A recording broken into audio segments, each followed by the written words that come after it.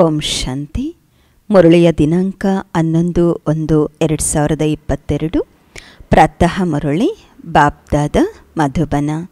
ತಂದೆ ತಿಳಿಸುತ್ತಾರೆ, ಮಧುರ ಮಕ್ಕಳೇ, ಜ್ಞಾನದ ಬುಲ್ಬುಲ್ ಪಕ್ಷಿಯಾಗಿ ತಮ್ಮ ಸಮಾನ ಮಾಡಿಕೊಳ್ಳುವ ಸೇವೆ ಮಾಡಿರಿ. ನನ್ನ ನೆನಪಿನ ಯಾತ್ರೆ ಸರಿಯಾಗಿದೆಯೇ ಎಂದು ತಮ್ಮ ಮನಸ್ಸನ್ನು ತಾವೇ ಕೇಳಿಕೊಳ್ಳಬೇಕು. ಪ್ರಶ್ನೆ ಯಾವ ವಿಶೇಷ ಪುರುಷಾರ್ಥದಿಂದ ಬಡವರಿಂದ ಶ್ರೀಮಂತರಾಗಬಹುದು? ಉತ್ತರ, ಬಡವರಿಂದ ಶ್ರೀಮಂತರಾಗಬೇಕಾದರೆ ಬುದ್ಧಿ ಸ್ವಚ್ಛವಾಗಿರಬೇಕು. ಒಬ್ಬ ತಂದೆಯ ವಿನಃ ಮತ್ಯಾರ ನೆನಪು ಬರಬಾರದು. ಈ ಶರೀರವೂ ಸಹ ನನ್ನದಲ್ಲ. ಈ ರೀತಿ ಬದುಕಿದ್ದು ಸಾಯುವಂತಹ ಪುರುಷಾರ್ಥ ಮಾಡುವಂತಹವರೇ ಬಡವರಾಗಿದ್ದಾರೆ. ಅವರದು ವಾನಪ್ರಸ್ಥ ಸ್ಥಿತಿಯಾಗಿದೆ. ಏಕೆಂದರೆ ಅವರ ಬುದ್ಧಿಯಲ್ಲಿ ಇರುತ್ತದೆ, ಈಗ ತಂದೆಯ ಜೊತೆ ಮನೆಗೆ ವಾಪಸ್ ಹೋಗಬೇಕು. ಪುನಃ ಸುಖಧಾಮದಲ್ಲಿ ಬರಬೇಕಾಗಿದೆ. ಓಂ ಶಾಂತಿ. ಮಧುರಾತಿ ಮಧುರ ಮಕ್ಕಳು ತಿಳಿದುಕೊಂಡಿದ್ದೀರಾ? ವಿದ್ಯಾಭ್ಯಾಸದಲ್ಲಿ ಹೆಚ್ಚು ಯಾವ ಮಾತಿಗೆ ಗಮನ ಕೊಡಬೇಕು?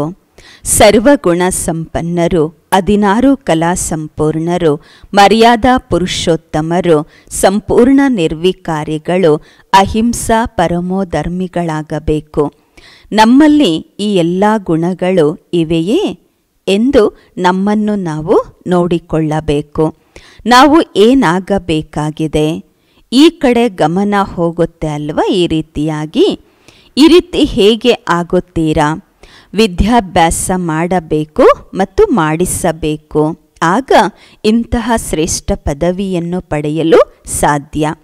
ಬೇಹದ್ದಿನ ತಂದೆಯನ್ನ ಪೂರ್ಣ ದಿನ ಎಷ್ಟು ನೆನಪು ಮಾಡುತ್ತೀರಾ? ಎಷ್ಟು ಜನರಿಗೆ ವಿದ್ಯಾಭ್ಯಾಸ ಮಾಡಿಸುತ್ತೀರಾ? ಇರು, ಈವರೆಗೆ ಯಾರೂ ಸಹ ಸಂಪೂರ್ಣ ಆಗಿಲ್ಲ. ನಂಬರ್ ವಾರ್ ಪುರುಷಾರ್ಥದ ಅನುಸಾರವಾಗಿ ಎಲ್ಲರೂ ಪುರುಷಾರ್ಥ ಮಾಡುತ್ತಿದ್ದೇವೆ.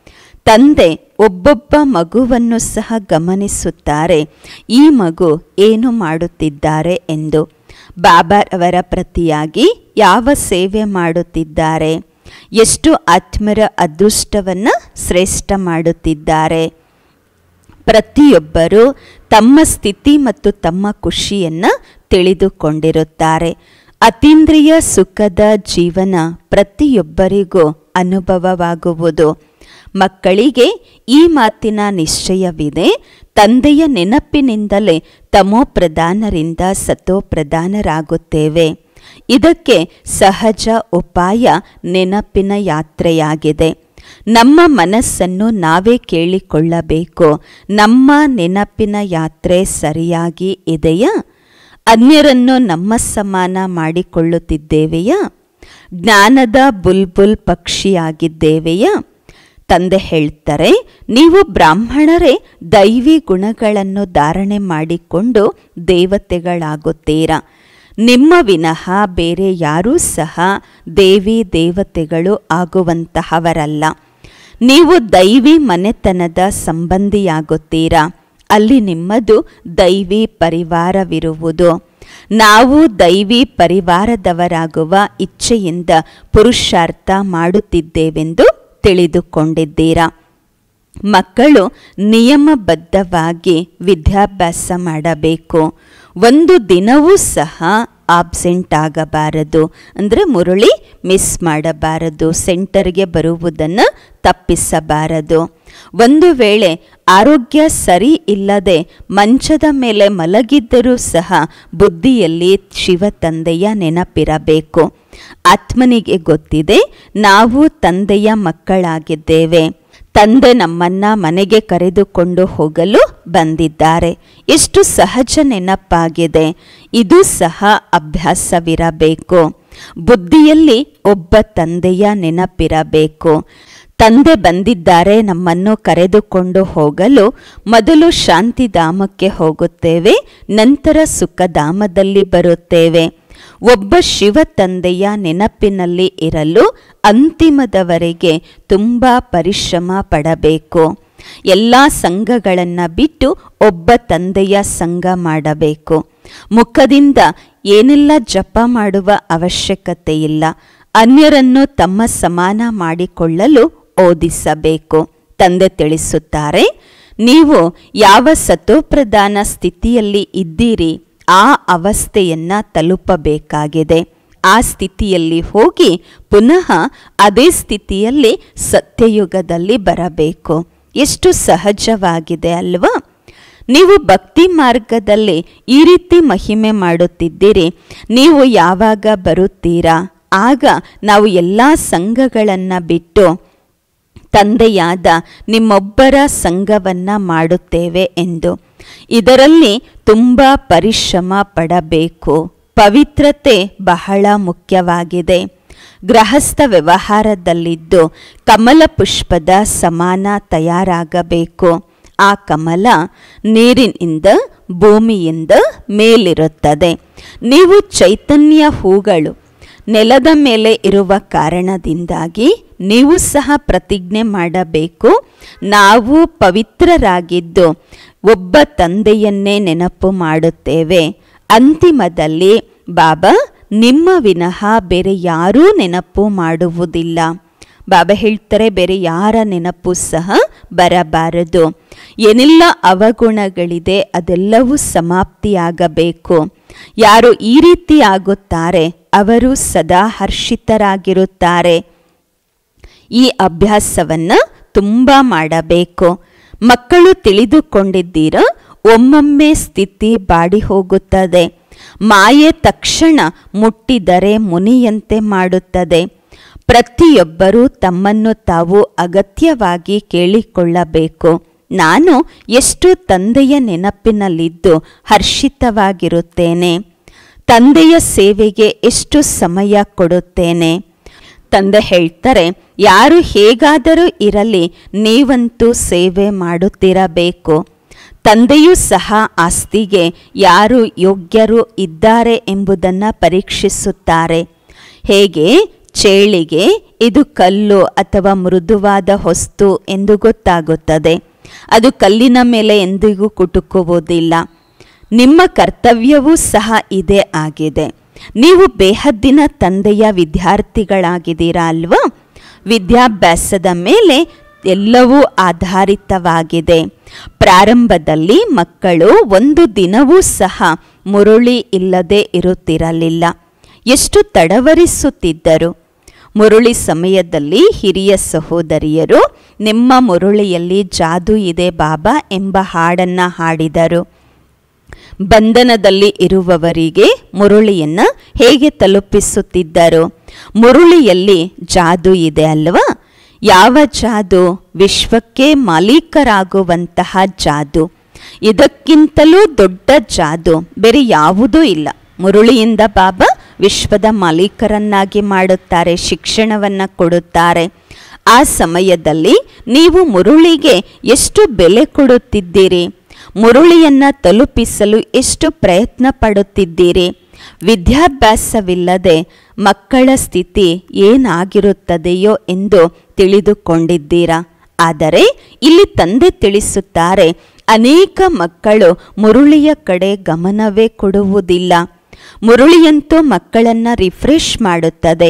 ಭಗವಂತ ವಿಶ್ವದ ಮಾಲೀಕರನ್ನಾಗಿ ಮಾಡುತ್ತಿದ್ದಾರೆ.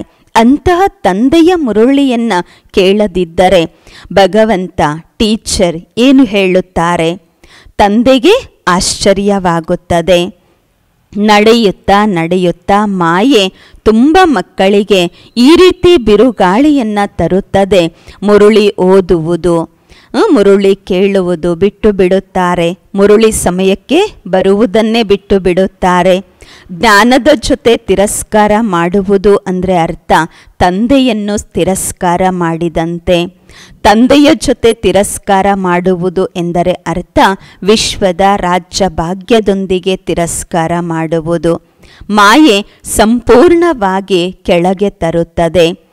ಒಂದೇ ಸಲ ಬುದ್ಧಿಯನ್ನು ನಾಶ ಮಾಡುತ್ತದೆ. ಆಗ ಏನನ್ನೂ ಸಹ ತಿಳಿದುಕೊಳ್ಳಲು ಆಗುವುದಿಲ್ಲ. ಭಕ್ತಿ ತುಂಬ ಮಾಡುತ್ತಿರುತ್ತಾರೆ. ಆದರೆ ಪೂರ್ತಿಯಾಗಿ ಅಂಧಶ್ರದ್ಧೆ, ಬುದ್ಧಿಹೀನರಾಗಿರುತ್ತಾರೆ. ಸ್ವಯಂ ತಂದೆಯೇ ತಿಳಿಸುತ್ತಾರೆ, ನೀವು ಎಷ್ಟು ಯೋಗ್ಯರಾಗಿದ್ದೀರಿ? ಈಗ ಬುದ್ಧಿಹೀನರಾಗಿದ್ದೀರಾ? ಈಗ ನಾನು ನೀವು ಮಕ್ಕಳನ್ನು ಯೋಗ್ಯರನ್ನಾಗಿ ಮಾಡಲು ಬಂದಿದ್ದೇನೆ. ಆದ್ದರಿಂದ ಅವಶ್ಯವಾಗಿ ಶ್ರೀಮತದಂತೆ ನಡೆಯಬೇಕು. ತಂದೆ ತಿಳಿಸುತ್ತಾರೆ, ಇಲ್ಲಿ ಬೇರೆ ಏನೂ ಮಾಡಬೇಕಾಗಿಲ್ಲ. ಕೇವಲ ತಂದೆಯನ್ನು ನೆನಪು ಮಾಡಿರಿ ಮತ್ತು ವಿದ್ಯಾಭ್ಯಾಸ ಮಾಡಿರಿ. ಶಾಲೆಯಲ್ಲಿ ಮಕ್ಕಳು ವಿದ್ಯಾಭ್ಯಾಸವನ್ನು ಮಾಡುತ್ತಾರೆ ಮತ್ತು ಶಿಕ್ಷಕರನ್ನು ಸಹ ನೆನಪು ಮಾಡುತ್ತಾರೆ. ನಡತೆಯನ್ನು ಸುಧಾರಣೆ ಮಾಡಿಕೊಳ್ಳಬೇಕು. ನಿಮ್ಮ ಗುರಿ ಉದ್ದೇಶ ಸನ್ಮುಖದಲ್ಲಿ ನಿಂತಿದೆ. ನೀವು ಈ ರೀತಿ ಆಗಬೇಕು. ದೇವತೆಗಳ ನಡತೆ ಉತ್ತಮವಾಗಿರುವ ಕಾರಣದಿಂದಾಗಿ ಮನುಷ್ಯರು ಅವರ ಮಹಿಮೆ ಈ ರೀತಿ ಮಾಡುತ್ತಾರೆ. ನೀವು ಸರ್ವಗುಣ ಸಂಪನ್ನರು, ಮರ್ಯಾದಾ ಪುರುಷೋತ್ತಮರು, ಅಹಿಂಸಾ ಪರಮೋಧರ್ಮಿಗಳು ಎಂದು. ಮನುಷ್ಯರಿಗೆ ಎಲ್ಲಿಯವರೆಗೆ ತಂದೆಯ ಪರಿಚಯ ಸಿಗುವುದಿಲ್ಲ, ಅಲ್ಲಿಯವರೆಗೆ ಅಂಧಕಾರದಲ್ಲಿ ಇರುತ್ತಾರೆ. ಇಡೀ ಪ್ರಪಂಚದ ಮನುಷ್ಯರು ಈ ಸಮಯದಲ್ಲಿ ನಿರ್ಧಣಿಕರಾಗಿದ್ದಾರೆ ಅಂತಹವರಿಗೆ ತಂದೆಯ ಸಂದೇಶ ನೀಡಬೇಕು. ನೀವು ಬೇಹದ್ದಿನ ತಂದೆಯ ಮಕ್ಕಳಾಗಿದ್ದೀರಾ ಅಲ್ವಾ? ತಂದೆ ತಿಳಿಸುತ್ತಾರೆ, ನನ್ನನ್ನು ನೆನಪು ಮಾಡಿದಾಗ ನಿಮ್ಮ ವಿಕರ್ಮಗಳು ವಿನಾಶವಾಗುವವು. ಮಕ್ಕಳು ಸರ್ವರಿಗೂ ಸಂದೇಶ ತಲುಪಿಸುವಂತಹ ಯುಕ್ತಿಯನ್ನು ರಚಿಸಬೇಕು. ಸಮಾಚಾರ ಪತ್ರಿಕೆಗಳ ಮೂಲಕ ಎಲ್ಲರಿಗೂ ಈ ಸಂದೇಶ ಕೊಡಬೇಕು. ಒಬ್ಬ ತಂದೆಯನ್ನು ನೆನಪು ಮಾಡಿದಾಗ ಪಾವನರಾಗುತ್ತೀರಾ? ಎಲ್ಲ ಆತ್ಮರು ಮೊದಲು ಪಾವನರಾಗಿದ್ದರು. ಈಗ ಎಲ್ಲರೂ ಪತಿತರಾಗಿದ್ದಾರೆ. ಇಲ್ಲಿ ಯಾವುದೇ ಪವಿತ್ರ ಆತ್ಮ ಇರಲು ಸಾಧ್ಯವಿಲ್ಲ. ಪವಿತ್ರ ಆತ್ಮರಂದ್ರೆ ಈ ಪ್ರಪಂಚದಲ್ಲಿ. ಪವಿತ್ರ ಪ್ರಪಂಚದಲ್ಲೇ ಇರುತ್ತಾರೆ ಪವಿತ್ರ ಆತ್ಮರು. ಪವಿತ್ರರಾದಾಗ ಈ ಹಳೆಯ ಶರೀರವನ್ನು ತೊರೆಯಲೇಬೇಕಾಗುವುದು. ಆತ್ಮ ಪಾವನವಾಗಿದ್ದು ಶರೀರ ಪತಿತವಾಗಿರಲು ಸಾಧ್ಯವಿಲ್ಲ.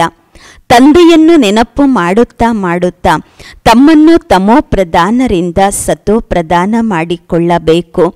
ಮೊಟ್ಟ ಮೊದಲು ನೀವು ಇಲ್ಲಿಗೆ ಬಂದಾಗ ಪವಿತ್ರರಾಗಿದ್ದೀರಿ. ಈಗ ಪುನಃ ಪವಿತ್ರರಾಗಬೇಕು. ಆತ್ಮ ಪವಿತ್ರವಾಗಿ ಹೊರಟು ಪುನಃ ಪವಿತ್ರ ಪ್ರಪಂಚದಲ್ಲಿ ಬರುತ್ತದೆ. ಶಾಂತಿಧಾಮದಿಂದ ಮತ್ತೆ ಗರ್ಭ ಮಹಲಿನಲ್ಲಿ ಬರುತ್ತದೆ. ಅಲ್ಲಿ ದುಃಖದ ಹೆಸರು ಗುರುತು ಇರುವುದಿಲ್ಲ. ರಾವಣ ರಾಜ್ಯವೇ ಇರುವುದಿಲ್ಲ. ಆದರೆ ಪುರುಷಾರ್ಥ ಮಾಡಿ ಶ್ರೇಷ್ಠ ಪದವಿಯನ್ನು ಪಡೆಯಬೇಕು. ಅದಕ್ಕಾಗಿಯೇ ಈ ವಿದ್ಯಾಭ್ಯಾಸವಿದೆ. ಸ್ವರ್ಗದಲ್ಲಿ ಎಲ್ಲರೂ ಬರುತ್ತಾರೆ. ಯಾರೆಲ್ಲ ಪುರುಷಾರ್ಥ ಮಾಡುತ್ತಾರೆ ಅವರೆಲ್ಲರೂ ಬರುತ್ತಾರೆ. ಆದರೆ ಶ್ರೇಷ್ಠ ಪದವಿಯನ್ನು ಪಡೆಯಲು ಪುರುಷಾರ್ಥ ಇನ್ನೂ ಹೆಚ್ಚಿನ ರೂಪದಲ್ಲಿ ಮಾಡಬೇಕಾಗುವುದು. ಈಗ ಸ್ವರ್ಗದ ಸ್ಥಾಪನೆ ಮತ್ತು ನರಕದ ವಿನಾಶವಾಗುವುದೆಂದು ತಿಳಿದುಕೊಂಡಿದ್ದೀರಾ. ಶಿವಾಲಯ ಸ್ಥಾಪನೆಯಾದಾಗ ವೇಶ್ಯಾಲಯ ಸಮಾಪ್ತಿಯಾಗುವುದು. ಶಿವಾಲಯದಲ್ಲಂತೂ ಬರಬೇಕಾಗುವುದು. ಕೆಲವರು ಈ ಶರೀರವನ್ನು ಬಿಟ್ಟ ನಂತರ ಹೋಗಿ ರಾಜಕುಮಾರ ಕುಮಾರಿಯರಾಗುತ್ತಾರೆ. ಕೆಲವರು ಪ್ರಜೆಗಳಲ್ಲಿ ಹೊರಟು ಹೋಗುತ್ತಾರೆ. ಯಾರ ಬುದ್ಧಿ ಸಂಪೂರ್ಣ ಸ್ವಚ್ಛವಾಗಿದೆ. ಒಬ್ಬ ತಂದೆಯ ವಿನಃ ಬೇರೆ ಯಾರ ನೆನಪು ಬರುವುದಿಲ್ಲ. ಅವರಿಗೆ ಸಂಪೂರ್ಣ ಬೆಗರ್ ಎಂದು ಕರೆಯಲಾಗುವುದು. ಶರೀರವನ್ನು ಸಹ ನೆನಪು ಮಾಡಬಾರದು. ಅಂದರೆ ಅರ್ಥ, ಬದುಕಿದ್ದು ಸಾಯಬೇಕು. ನಾವು ಈಗ ನಮ್ಮ ಬೇಹದ್ದಿನ ಮನೆಗೆ ಹೋಗಬೇಕು. ನಾವು ನಮ್ಮ ಮನೆಯನ್ನು ಮರೆತಿದ್ದೇವೆ. ಈಗ ತಂದೆ ನಮಗೆ ನೆನಪು ತರಿಸುತ್ತಿದ್ದಾರೆ. ತಂದೆ ಮಕ್ಕಳಿಗೆ ತಿಳಿಸುತ್ತಿದ್ದಾರೆ. ಮಧುರಾತಿ ಮಧುರ ಮಕ್ಕಳೇ, ನೀವು ವಾನಪ್ರಸ್ಥಿಗಳಾಗಿದ್ದೀರಾ. ಈ ಸಮಯದಲ್ಲಿ ನಿಮ್ಮೆಲ್ಲರದು ವಾನಪ್ರಸ್ಥ ಅವಸ್ಥೆಯಾಗಿದೆ. ಎಲ್ಲ ಮಕ್ಕಳನ್ನ ಶಬ್ದದಿಂದ ದೂರ ಕರೆದುಕೊಂಡು ಹೋಗಲು ನಾನು ಬಂದಿದ್ದೇನೆ. ವಾನಪ್ರಸ್ಥ ಸ್ಥಿತಿಯಲ್ಲಿ ಹೋಗಲು ಎಲ್ಲ ಭಕ್ತರು ಭಕ್ತಿ ಮಾಡುತ್ತಾರೆ. ಈಗ ಎಲ್ಲರೂ ವಾನಪ್ರಸ್ಥ ಅವಸ್ಥೆಯಲ್ಲಿ ಹೇಗೆ ಹೋಗುತ್ತಾರೆ ಎಂಬುದನ್ನು ತಂದೆ ತಿಳಿಸುತ್ತಿದ್ದಾರೆ. ಅವರಿಗೆ ಈ ಅಕ್ಷರದ ಅರ್ಥವೇ ಗೊತ್ತಿಲ್ಲ. ಕೇವಲ ಹೆಸರಷ್ಟೇ ಕೇಳಿದ್ದಾರೆ. ದ್ವಾಪರದಿಂದ ಲೌಕಿಕ ಗುರುಗಳ ಮೂಲಕ ಬಹಳ ಪುರುಷಾರ್ಥ ಮಾಡಿದ್ದರು. ಆದರೂ ಸಹ ವಾಪಸ್ ಮರಳಿ ಹೋಗಲು ಸಾಧ್ಯವಾಗಲಿಲ್ಲ. ಈಗ ಹಿರಿಯರಾಗಲಿ, ಕಿರಿಯರಾಗಲಿ ಎಲ್ಲರೂ ವಾನಪ್ರಸ್ಥ ಸ್ಥಿತಿಯಲ್ಲಿ ಇದ್ದಾರೆಂದು ತಂದೆ ತಿಳಿಸುತ್ತಾರೆ. ಸತ್ಯ ಸತ್ಯ ವಾನಪ್ರಸ್ಥ ಸ್ಥಿತಿ ನಿಮ್ಮದಾಗಿದೆ. ಕಾರಣ ಮನೆಗೆ ವಾಪಸ್ ಹೋಗಬೇಕಾಗಿದೆ. ಬೇಹದ್ದಿನ ತಂದೆ ಎಲ್ಲರನ್ನ ಕರೆದುಕೊಂಡು ಹೋಗಲು ಬಂದಿದ್ದಾರೆ. ಆದ್ದರಿಂದ ಮಕ್ಕಳಾದ ನಿಮಗೆ ತುಂಬ ಖುಷಿಯಾಗಬೇಕು. ನೀವು ತಿಳಿದುಕೊಂಡಿದ್ದೀರಾ, ಎಲ್ಲರನ್ನ ತಂದೆಯೇ ಮಧುರ ಶಾಂತಿಯ ಮನೆಗೆ ಕರೆದುಕೊಂಡು ಹೋಗುತ್ತಾರೆ. ಏಕೆಂದರೆ ಆತ್ಮರೆಲ್ಲರಿಗೂ ಈಗ ಶಾಂತಿ ಬೇಕಾಗಿದೆ. ಇಲ್ಲಿ ಶಾಂತಿ ಇರಲು ಸಾಧ್ಯವಿಲ್ಲ. ಶಾಂತಿಧಾಮದ ಮಾಲೀಕರು ತಂದೆ ಒಬ್ಬರೇ ಆಗಿದ್ದಾರೆ. ಮಾಲೀಕ ಬಂದಾಗಲೇ ಎಲ್ಲರನ್ನ ಕರೆದುಕೊಂಡು ಹೋಗುತ್ತಾರೆ. ಭಕ್ತರು ಸಹ ಶಾಂತಿಧಾಮಕ್ಕೆ ಹೋಗಲು ಸಾಧ್ಯವಿಲ್ಲ. ಭಕ್ತಿ ಮಾಡುವುದೇ ಶಾಂತಿಧಾಮಕ್ಕೆ ಹೋಗಲು. ಯಾರೂ ಕೂಡ ಸುಖಧಾಮಕ್ಕೆ ಹೋಗುತ್ತೇವೆಂದು ಹೇಳುವುದಿಲ್ಲ. ತಂದೆ ತಿಳಿಸುತ್ತಾರೆ, ನಾನು ಮಕ್ಕಳೊಂದಿಗೆ ಪ್ರತಿಜ್ಞೆ ಮಾಡುತ್ತೇನೆ. ಒಂದು ವೇಳೆ ನೀವು ನನ್ನ ಶ್ರೀಮತ್ತದಂತೆ ನಡೆದಿದ್ದೆ ಆದರೆ ನಿಮ್ಮೆಲ್ಲರನ್ನ ಮನೆಗೆ ಕರೆದುಕೊಂಡು ಹೋಗುತ್ತೇನೆ. ಸುಖಧಾಮಕ್ಕೆ ಹೋಗುವುದಿಲ್ಲವೆಂದರೆ ಶಾಂತಿಧಾಮಕ್ಕೆ ಅಗತ್ಯವಾಗಿ ಕರೆದುಕೊಂಡು ಹೋಗುತ್ತೇನೆ. ಯಾರನ್ನೂ ಸಹ ಬಿಡುವುದಿಲ್ಲ. ಮನೆಗೆ ಬರುವುದಿಲ್ಲವೆಂದರೆ ಶಿಕ್ಷೆ ಕೊಡಿಸಿಯಾದರೂ ಕರೆದುಕೊಂಡು ಹೋಗುತ್ತೇನೆ. ಚಿಕ್ಕ ಮಕ್ಕಳಿಗೆ ಹೇಗೆ ಶಿಕ್ಷೆ ಕೊಡ್ತಾರೆ ಅಲ್ವಾ? ಮಕ್ಕಳಾದ ನಿಮ್ಮನ್ನು ಸಹ ಅದೇ ರೀತಿ ಕರೆದುಕೊಂಡು ಹೋಗುತ್ತೇನೆ. ಏಕೆಂದರೆ ನಾಟಕದಲ್ಲಿ ಪಾತ್ರವೇ ಈ ರೀತಿ ಇದೆ. ಆದ್ದರಿಂದ ತಮ್ಮ ಸಂಪಾದನೆ ಮಾಡಿಕೊಂಡು ನಡೆದಾಗ ಚೆನ್ನಾಗಿರುತ್ತದೆ. ಉತ್ತಮ ಪದವಿ ಸಿಗುತ್ತದೆ. ಅಂತಿಮದಲ್ಲಿ ಬರುವಂತಹವರು ಎಂತಹ ಸುಖವನ್ನು ಪಡೆಯುತ್ತಾರೆ? ನಿಮಗೆ ಇಷ್ಟ ಇದೆಯೋ ಇಲ್ಲವೋ? ನಿಮ್ಮ ಎಲ್ಲರ ಶರೀರಕ್ಕೆ ಬೆಂಕಿ ಬೀಳುತ್ತದೆ. ಎಲ್ಲರ ಶರೀರ ಸಮಾಪ್ತಿಯಾಗತ್ತೆ. ಆತ್ಮರನ್ನ ತಂದೆ ಕರೆದುಕೊಂಡು ಹೋಗುತ್ತಾರೆ.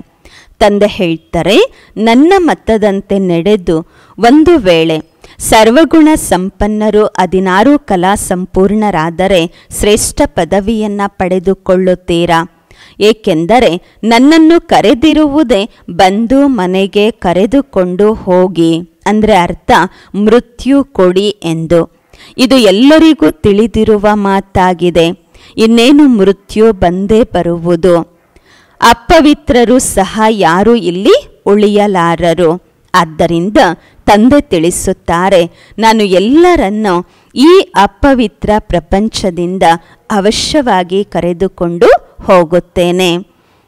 ಯಾರು ಚೆನ್ನಾಗಿ ವಿದ್ಯಾಭ್ಯಾಸ ಮಾಡುತ್ತಾರೆ ಅವರೇ ಸುಖಧಾಮದಲ್ಲಿ ಬರುತ್ತಾರೆ. ಸುಖಧಾಮ ಆಕಾಶದಲ್ಲಿ ಇಲ್ಲ. ನಿಮ್ಮ ನೆನಪಾರ್ಥವಾಗಿ ದೆಲ್ವಾಡ ಮಂದಿರವಿದೆ. ಆದಿದೇವ ಕೊಳುತ್ತಿದ್ದಾರೆ ಬಾಬ್ ದಾದಾರವರು ಇದ್ದಾರೆ ಅಲ್ವಾ? ಇವರ ಶರೀರದಲ್ಲಿ ಶಿವ ತಂದೆ ವಿರಾಜಮಾನರಾಗಿದ್ದಾರೆ. ಇಲ್ಲಿ ಬಾಬ್ ದಾದಾ ಇಬ್ಬರೂ ಕೊಳುತ್ತಿದ್ದಾರೆಂದು ನೀವು ತಿಳಿದುಕೊಂಡಿದ್ದೀರಾ? ಮಕ್ಕಳು, ನೀವು ಆ ಮಂದಿರಕ್ಕೆ ಹೋದಾಗ ಇದು ಬಾಪ್ ದಾದಾರವರ ಮಂದಿರವಾಗಿದೆ ಎಂಬ ವಿಚಾರವಿರಲಿ. ಈ ಸಮಯದಲ್ಲಿ ರಾಜಯೋಗ ಕಲಿಯುತ್ತಿರುವಂತಹವರ ಗುರುತಾಗಿದೆ. ಮಹಾರಥಿ, ಕುದುರೆ ಸವಾರರು ಇದ್ದಾರೆ. ಈ ದಾದಾರವರಲ್ಲಿ ಬಾಬಾ ಪ್ರವೇಶ ಮಾಡುತ್ತಾರೆ. ಆದ್ದರಿಂದ ಅದು ಜಡವಾಗಿದೆ, ಇದು ಚೈತನ್ಯವಾಗಿದೆ. ನಿಮ್ಮದೇ ಉದಾಹರಣೆಯನ್ನ ನೋಡಿ ಬರುತ್ತೀರಾ? ದೆಲ್ವಾಡ ಮಂದಿರ ಎಷ್ಟು ರಮಣೀಕವಾಗಿದೆ. ಕಲ್ಪಕಲ್ಪವೂ ಸಹ ಅದೇ ರೀತಿ ಮಂದಿರ ನಿರ್ಮಾಣವಾಗುವುದು. ಅದನ್ನು ನೀವು ಹೋಗಿ ನೋಡುತ್ತೀರಾ? ಇದೆಲ್ಲವೂ ಸಹ ವಿನಾಶವಾಗುವುದು ಎಂದು ಹೇಳುತ್ತೀರಾ? ಮತ್ತೆ ಹೇಗೆ ಆಗುವುದು ಎಂದು ನೀವು ಕೇಳುತ್ತೀರಾ? ಎಂದಿಗೂ ಸಹ ಈಗ ಸ್ವರ್ಗ ಎಲ್ಲಿದೆ ಎಂದು ಈ ರೀತಿ ಯೋಚಿಸಬಾರದು. ಆದರೆ ಪುನಃ ಸ್ವರ್ಗದ ಮಹಲ್ ತಯಾರಾಗುವುದು. ಈ ಬೆಟ್ಟ ಗುಟ್ಟಗಳೆಲ್ಲವೂ ಮುರಿದು ಹೋಗುತ್ತವೆ. ಪುನಃ ಸ್ವರ್ಗ ತಯಾರಾಗುವುದು. ಅಬು ಮತ್ತೆ ತಯಾರಾಗತ್ತೆ. ಬಹಳಷ್ಟು ಮಕ್ಕಳು ಈ ಮಾತಿನಲ್ಲಿ ತುಂಬ ತಬ್ಬಿಬ್ಬಾಗುತ್ತಾರೆ. ಗೊಂದಲಕ್ಕೆ ಒಳಗಾಗುವ ಅವಶ್ಯಕತೆ ಏನೂ ಇಲ್ಲ ಎಂದು ತಂದೆ ಹೇಳುತ್ತಾರೆ. ದ್ವಾರಿಕ ಸಮುದ್ರದಡಿ ಹೊರಟು ಹೋಯಿತು. ಮತ್ತೆ ಸಮುದ್ರದಿಂದ ಹೊರಬರುವುದು ಎಂದು ಹೇಳುತ್ತಾರೆ. ಆದರೆ ಕೆಳಗೆ ಹೋದ ವಸ್ತು ಹಾಗೆಯೇ ಸಮಾಪ್ತಿಯಾಗುವುದು. ನಾವು ಸ್ವರ್ಗದಲ್ಲಿ ಮಹಲ್ಲುಗಳನ್ನು ಮಾಡುತ್ತೇವೆಂದು ತಿಳಿದುಕೊಂಡಿದ್ದೀರಾ? ಅಲ್ಲಿ ಎಲ್ಲವೂ ಸಂಪೂರ್ಣ ಸತೋಪ್ರಧಾನ ಹೊಸ ವಸ್ತುಗಳು ಇರುತ್ತವೆ. ನೀವು ಅಲ್ಲಿಯ ಹಣ್ಣು ಮುಂತಾದವುಗಳನ್ನು ನೋಡಿ ಬರುತ್ತೀರಾ? ನಾವು ಅಲ್ಲಿಗೆ ಹೋಗುತ್ತೇವೆಂದು ತಿಳಿದುಕೊಂಡಿದ್ದೀರಾ? ಸೃಷ್ಟಿಯ ಚರಿತ್ರೆ, ಭೂಗೋಳ ಪುನರಾವರ್ತನೆ ಆಗುವುದು. ಆದರೆ ಸ್ವರ್ಗವೂ ಸಹ ಪುನರಾವರ್ತನೆ ಆಗುವುದು. ಈ ನಿಶ್ಚಯವಿರಬೇಕು. ಆದರೆ ಅದೃಷ್ಟದಲ್ಲಿ ಇಲ್ಲದಿದ್ದಾಗ ಕೆಲವರು ಇದು ಹೇಗೆ ಎಂದು ಕೇಳುತ್ತಾರೆ. ಇವರೆಲ್ಲರೂ ಪುನಃ ಬರುತ್ತಾರೆ. ಮತ್ತೆ ಮನೆ ಮುಂತಾದವುಗಳು ತಯಾರಾಗುತ್ತವೆ. ತಾವು ತಿಳಿದುಕೊಂಡಿದ್ದೀರಾ, ಸೋಮನಾಥ ಮಂದಿರವನ್ನ ಲೂಟಿ ಮಾಡಿಕೊಂಡು ಹೋದರು. ಪುನಃ ಮಂದಿರ ತಯಾರು ಮಾಡಲಾಗುವುದು. ಈ ಆಟ ಪೂಜ್ಯರಿಂದ ಪೂಜಾರಿ, ಪೂಜಾರಿಗಳಿಂದ ಪೂಜ್ಯರಾಗುವ ಆಟವಾಗಿದೆ. ಬ್ರಾಹ್ಮಣ, ದೇವತಾ, ಕ್ಷತ್ರಿಯ, ವೈಶ್ಯ, ಶೂದ್ರರು. ಈ ರೀತಿ ಚಕ್ರ ಸುತ್ತುತ್ತಿರುವುದು. ಮಕ್ಕಳು ನೀವು ಪದಮ ಪದಮ ಭಾಗ್ಯಶಾಲಿಗಳಾಗುತ್ತೀರಾ? ನಿಮ್ಮ ಹೆಜ್ಜೆಯಲ್ಲಿ ಪದಮದ ಮುದ್ರೆ ಹಾಕಲ್ಪಟ್ಟಿದೆ. ನೀವು ತಿಳಿದುಕೊಂಡಿದ್ದೀರಾ, ನಮ್ಮ ಪ್ರತಿ ಹೆಜ್ಜೆಯಲ್ಲಿ ಪದಮಗಳಿವೆ. ಅಂದರೆ ಅರ್ಥ, ವಿದ್ಯಾಭ್ಯಾಸ ಪದಮಗಳಿಂದ ತುಂಬಿದೆ. ಎಷ್ಟು ಓದುತ್ತೀರಾ, ಅಷ್ಟು ಪದವಿಯನ್ನು ಪಡೆಯುತ್ತೀರಾ? ಸತ್ಯಯುಗ, ಸ್ವರ್ಣಯುಗವಾಗಿದೆ.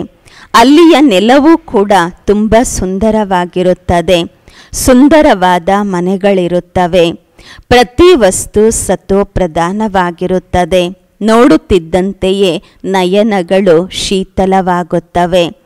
ಇಂತಹ ರಾಜಧಾನಿಗೆ ಮಾಲೀಕರಾಗಬೇಕಾದರೆ ಎಷ್ಟು ಒಳ್ಳೆಯ ಪುರುಷಾರ್ಥ ಮಾಡಬೇಕು? ಪುರುಷಾರ್ಥದಿಂದ ಪ್ರಾರಬ್ಧವಾಗುವುದು ಮಕ್ಕಳ ಬುದ್ಧಿಯಲ್ಲಿ ಈ ಜ್ಞಾನವಿದೆ. ತಂದೆಯನ್ನು ನೆನಪು ಮಾಡಬೇಕು. ಲೌಕಿಕ ಸಂಬಂಧಿಕರ ಜೊತೆಯಲ್ಲಿ ಮಮತ್ವವನ್ನು ಅಳಿಸಿ ಒಬ್ಬ ತಂದೆಯನ್ನು ನೆನಪು ಮಾಡಬೇಕು. ಒಳ್ಳೆಯದು. ಮಧುರಾತಿ ಮಧುರ ಅಗಲಿ ಹೋಗಿ ಮರಳಿ ಸಿಕ್ಕಿರುವ ಮಕ್ಕಳ ಪ್ರತಿಯಾಗಿ ಮಾತ್ಪಿತಾ ಬಾಪ್ದಾದಾರವರ ನೆನಪು, ಪ್ರೀತಿ ಹಾಗೂ ಬೆಳಗಿನ ವಂದನೆಗಳು ಆತ್ಮಿಕ ಮಕ್ಕಳಿಗೆ ಆತ್ಮಿಕ ತಂದೆಯ ನಮಸ್ಕಾರಗಳು. ನಾವು ಆತ್ಮಿಕ ಮಕ್ಕಳಿಂದ ಆತ್ಮಿಕ ಮಾತ್ಪಿತಾ ಬಾಪ್ದಾದಾರವರಿಗೆ ನೆನಪು, ಪ್ರೀತಿ, ಬೆಳಗಿನ ವಂದನೆಗಳು ಹಾಗೂ ನಮಸ್ಕಾರಗಳು. ಧಾರಣೆಗಾಗಿ ಮುಖ್ಯ ಸಾರ್ ಫಸ್ಟ್ ಪಾಯಿಂಟ್ ಆಗಿದೆ. ತಂದೆಯ ನೆನಪಿನಲ್ಲಿದ್ದು ಸದಾ ಹರ್ಷಿತರಾಗಿರಬೇಕು. ಎಂದಿಗೂ ಬಾಡಿ ಹೋಗಬಾರದು. ಆರೋಗ್ಯ ಸರಿಯಿಲ್ಲದಿದ್ದರೂ ಸಹ ಮುರುಳಿಯನ್ನು ಅವಶ್ಯವಾಗಿ ಕೇಳಬೇಕು ಅಥವಾ ಓದಬೇಕು. ಎರಡನೇ ಪಾಯಿಂಟು, ವಿದ್ಯಾಭ್ಯಾಸದಿಂದ ಹೆಜ್ಜೆ ಹೆಜ್ಜೆಯಲ್ಲೂ ಪದಮಗಳ ಜಮಾ ಮಾಡಿಕೊಳ್ಳಬೇಕು ಹಾಗೂ ಎಲ್ಲ ಸಂಘಗಳನ್ನು ಬಿಟ್ಟು ಒಬ್ಬ ತಂದೆಯ ಸಂಘ ಮಾಡಬೇಕು. ವರದಾನ, ಸದಾ ಪ್ರತಿ ಸಂಕಲ್ಪ ಮತ್ತು ಕರ್ಮದಲ್ಲಿ ಬ್ರಹ್ಮ ತಂದೆಯನ್ನ ಅನುಸರಿಸುವಂತಹ ಸಮೀಪ ಮತ್ತು ಸಮಾನರಾಗಿರಿ. ವರದಾನದ ವಿಶ್ಲೇಷಣೆ, ಹೀಗೆ ಬ್ರಹ್ಮ ಬಾಬಾರವರು ಪ್ರತಿ ಕಾರ್ಯದಲ್ಲಿ ದೃಢ ಸಂಕಲ್ಪದಿಂದ ಸಫಲತೆಯನ್ನು ಪ್ರಾಪ್ತಿ ಮಾಡಿಕೊಳ್ಳುತ್ತಿದ್ದರು. ಒಬ್ಬ ತಂದೆಯ ಹೊರತು ಮತ್ಯಾರೂ ಇಲ್ಲ ಎಂಬುದನ್ನು ಪ್ರತ್ಯಕ್ಷ ರೂಪದಲ್ಲಿ ಕರ್ಮ ಮಾಡಿ ತೋರಿಸಿದರು. ಎಂದಿಗೂ ಬೇಸರವಾಗಲಿಲ್ಲ. ಸದಾ ಹೊಸದೇನಲ್ಲ ಎಂಬುವ ಪಾಠದಿಂದ ವಿಜಯಿಗಳಾಗಿದ್ದರು. ಹಿಮಾಲಯ ಪರ್ವತದಂತಹ ದೊಡ್ಡ ಮಾತನ್ನು ಸಹ ಸಾಸುವೆಯಷ್ಟು ಚಿಕ್ಕದು ಮಾಡುತ್ತಿದ್ದರು. ಪರಿಹಾರ ಹುಡುಕುತ್ತಿದ್ದರು. ಎಂದಿಗೂ ಗಾಬರಿಯಾಗಲಿಲ್ಲ. ಇದೇ ರೀತಿ ಸದಾ ವಿಶಾಲ ಹೃದಯವನ್ನು ಇಟ್ಟುಕೊಳ್ಳಿ. ದಿಲ್ ಖುಷ್ ಆಗಿರಿ. ಪ್ರತಿ ಹೆಜ್ಜೆಯಲ್ಲಿ ಬ್ರಹ್ಮ ಬಾಬರವರನ್ನು ಫಾಲೋ ಮಾಡಿದಾಗ ಸಮೀಪ ಮತ್ತು ಸಮಾನರಾಗುತ್ತೀರಾ? ಸ್ಲೋಗನ್, ಅತೀಂದ್ರಿಯ ಸುಖದ ಅನುಭವ ಮಾಡಬೇಕಾದರೆ ಗೋಪಿ ವಲ್ಲಭನ ಸತ್ಯ ಸತ್ಯವಾದ ಗೋಪಿಕೆಯಾಗಿರಿ. ಇವತ್ತು ಲವಲೀನ ಸ್ಥಿತಿಯ ಅನುಭವ ಮಾಡಲು ವಿಶೇಷ ಹೋಮ್ವರ್ಕ್ ಆಗಿದೆ. ಬೇಹದ್ದಿನ ಪ್ರಾಪ್ತಿಗಳಲ್ಲಿ ಎಷ್ಟೆಷ್ಟು ಮಗ್ನರಾಗಿ ಇರುತ್ತೀರಾ, ಅಷ್ಟು ಅಲ್ಪಕಾಲದ ಆಕರ್ಷಣೆಗಳಿಂದ ದೂರವಾಗಿದ್ದು, ಪರಮಾತ್ಮನ ಪ್ರೀತಿಯಲ್ಲಿ ಸಮಾವೇಶವಾಗಿರುವ ಅನುಭವ ಮಾಡುತ್ತೀರಾ. ತಮ್ಮ ಈ ಲವಲೀನ ಸ್ಥಿತಿ ವಾತಾವರಣದಲ್ಲಿ ಆತ್ಮೀಯತೆಯ ಸುಗಂಧವನ್ನು ಹರಡುವುದು ಒಳ್ಳೆಯದು. ಓಂ ಶಾಂತಿ.